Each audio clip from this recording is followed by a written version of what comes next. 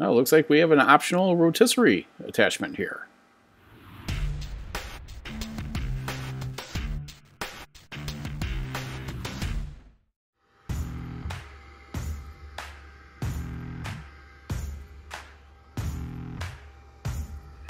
I received the Xtool Rotary Attachment 2 Pro RA2 from Xtool. Let's take a look inside this box and see what we get.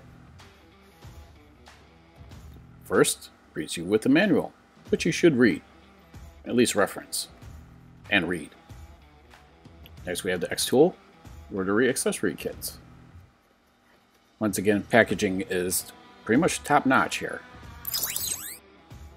We have the single step jaw and then we have the tape measure. It's at 1.5 meter.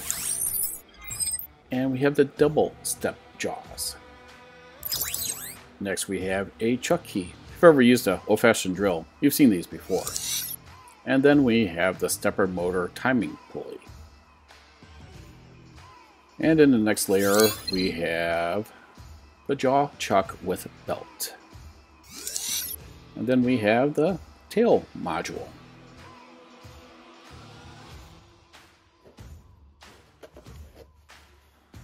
All right, final layer is the rotary attachment version 2. Then we have the support module. We have the connection cable and adapters. Then we have a 2.5 millimeter hex key or Allen key. Then we have screws, tools, and miscellaneous accessories. Everything's really well packaged. Now let's take everything out. Basically, I'm going to disassemble this because uh, I'm not going to use this part of rotary, but you can if you want. Um, I'm more interested in the, the chuck attachment. So it's very straightforward. Videos are out there on their site. I'll link them below on how to assemble. It only took me about five minutes. Now I'm putting the single stage jaws on here and um, I decided after this I was going to put the dual on there. Keep track of your screws and everything. So like I said, if you had a old school or just a, a different type of drill, you may be used to seeing these key things. You just turn it and it'll expand the jaws out and in. And these jaws are uh, basically like a rubber coated plastic and they are very, very grippy. I'm going to put these smaller ones, these two-stage ones on here, because I am not going to be uh, engraving anything that need this type of uh, big attachment. As I mentioned, it comes with the adapters needed for other laser engravers, but we're just going to use the cable supplied that will plug into the board and then into the stepper. So I put the two-stage jaws on here and this is a pretty hefty glass I have on here, and it is holding it rather nicely, no other supports on the other end. It also comes with this bubble level. It'd be nice if it was more like a, a grippier instead of just a piece of plastic, but still gets the job done. And that's how much you have to raise it to make it level. I would suggest that you buy some shims because they will be your friend. As you can see, I used three shims to make this glass level. And when I etch glass, I use tempera paint because it easily washes off with hot water. And to speed up my drying time, I use a heat gun. I put it back in the rotary, and I also have a spare glass here that I'm going to measure the diameter. Very important here. But this is concaved, so you're going to see what happens after we put in our measurements. You're going to line it up, and then we're going to refer to the software. Now this is the image I'm going to use. I'm actually going to do it a negative 90, so you'll see it's now laying towards the left.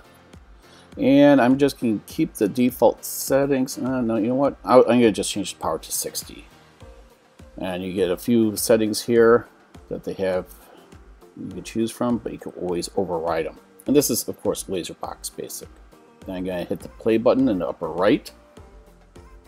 And in the upper left, I'm going to choose rotary. I could either put in my diameter or circumference. It will calculate it either way.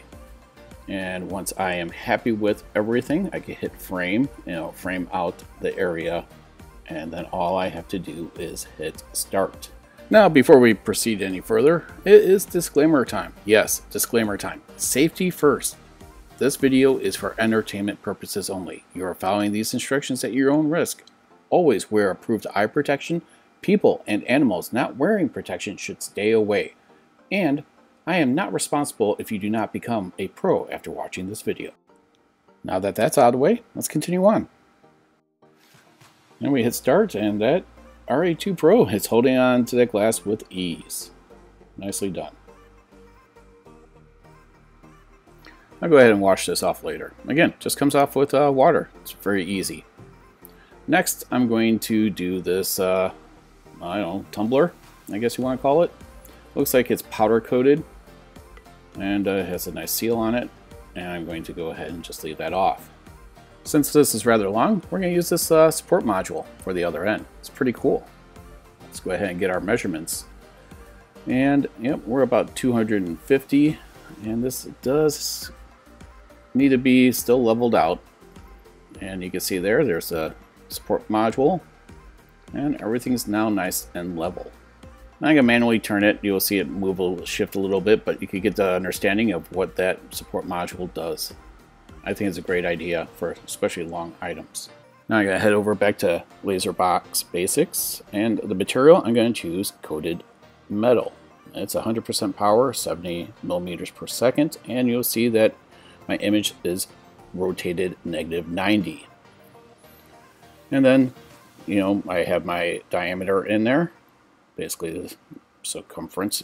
Again, you could choose either one, and then you could also frame it to show where you want it. I think I want this almost dead center. And you just move the laser where you want it. And again, you want to also adjust the height. And if you need to, you can refer, to one of my previous videos for that. You can just hit next and then it will start engraving. Again, you want to use proper eye protection during all of this. I decided to do two images I reused the one that I did on the glass on the back. And let's see how this comes out. Loosen the chuck. Turn it the other way. and it releases rather easily. Push back the gantry. Make sure it hits hard. And yes, you know what rhymes with camping. Alcohol. Cool. And then you got the wifey thing on the back. We'll take a closer look at this uh, towards the end of the video. Next, I purchased this thermos. Well, it's got that nice little lid on the top here. Another seal here. And this is uh, coated, but it's more like with a rubbery type material. I did my measurements already, and I'm now just doing my test here to see if my placement's good. I like it, so let's go ahead and kick this one off.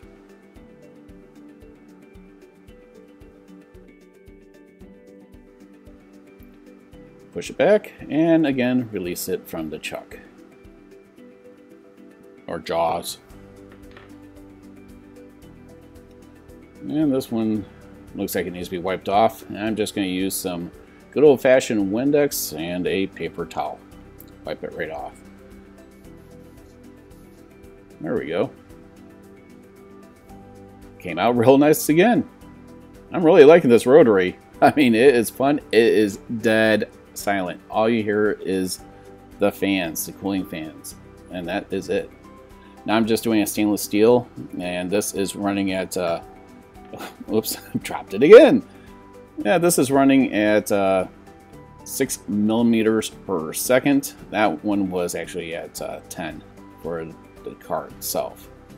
So, again, I've always stressed enough that you test everything first. So I'm just taking Windex and a paper towel, wiping it off, and this was without any special coating assistance.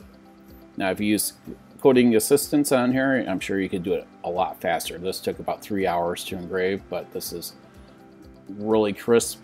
The car took uh, about an hour, but yeah, that is how nice and rich of a print you can get on there, or engraving. Now, going to put these, what Xtool calls them, ring adapters on here and we're going to just uh, twist them on. I'm going to put them in the first hole. It's very easy and basically you need to have them thumb tight. You do get three of them, and I guess you could put a ring on it. Or other things. As you'll see, I'm going to use it for something more unique than a ring. You may have seen a little teaser at the front of this video. So with this, I'm going to be using another adapter at the end. It's called the tail module. If you have something that's small enough, this will go ahead and slide in and you use that lever to lock it in place. Pretty cool. Plus, it's got a uh, spring in there to push it. And what are we going to engrave? Well, Johnsonville jalapeno cheddar smoked sausages, of course. I mean, they're awesome. So let's go ahead and have a rotisserie, shall we? This smells so good. I mean, so good. And uh, yeah, I did three passes on it. I was kind of hoping to see some charring, but it didn't happen. But it did definitely engrave into the sausage. Ah, my mouth is still watering. And of course, I'm narrating after the fact I ate this. And of course, what does it say on here? Oh, it says hot sausage. I'll go ahead and throw this into the air fryer for seven minutes. And boy, I, I just have them plain. So much flavor. Oh, so, so good. Love these. So let's take a, another look at what I engraved. Let's start with the glass, since I didn't wash it off. Uh, you know, using the paint, the washable paint, it, you know, it's got its drawbacks sometimes. You can see that I didn't get enough in certain areas, but it's permanent, permanently etched. Ah, this came out really nice. When life gives you lemons, grab the vodka wife's favorite, vodka lemonade. And this came out just stunning, but it took over three hours. But look at that. And, you know, the car still came out nice too, but it was at, uh, they're recommended for stainless steel, but six millimeters per second on the Shelby logo. And you see how vibrant that is. Let's go ahead and take this out. And I think this was powder coated. Came out really, really nice as well. And, of course, you got the wife on the back. Yep, pretty darn cool. Everything just worked so great with this. I mean, you get everything that you basically need. You get the measuring tape. You get this little bob level. You get the ring adapters. You get two sets of jaws, and you can also 3D print a extra sets if you want, if you have a 3D printer. You got adapters to use this and with other laser engravers. You got two ends to basically support your material on the other end, which is great. I, I love this idea. And of course you have the chuck key. Now for how flawless this actually worked, uh, there's two things I like to bring to your attention. First, you need risers with this and it would be really nice if Xtool would provide a set of risers with the machine because not everyone has them. Second, you need some shims or something. I bought these shims from Home Depot. Link will be in the description below. They're plastic, very easy to use, and it was just a few bucks. So I was just getting those as well. I highly recommend this. I think it is such a well-engineered and thought-out kit. RA2 is, to me, kind of a must-have if you're doing anything with a rotary, is that it was so much fun to use. I mean, you will definitely need to get the risers and and some shims for those uneven, you know, types of engravings that you want to do. Oh, I almost forgot to mention. Yes, there is a giveaway here from now until May 31st, 2022. And what is it? Well, you can win an RA2 Pro. Yes, all you have to do is subscribe to my channel, Tripods Garage, Xtools channel, and then leave your comment in the comment boxes what you would like to do with the RA2 if you have one. The word limit is 100 to 200 words. Each person can only comment once, and there'll be a random picker that will select the winner. Review the details in the description below. Also, there is a $30 off coupon. Use the URL below and then type in RA2 and this will give you $30 off and checkout. Now, just in case if you are watching this video at the and this uh, contest and promotion's over, no worries. I always update my descriptions for the latest and greatest promotions provided by Xtool. Just click on the URL if it's provided. I really appreciate you tuning into Tripod's Garage. Please have a wonderful day, evening, or weekend, or whenever you decide to watch this video. Thanks again for tuning in. See you next time on Tripod's Garage.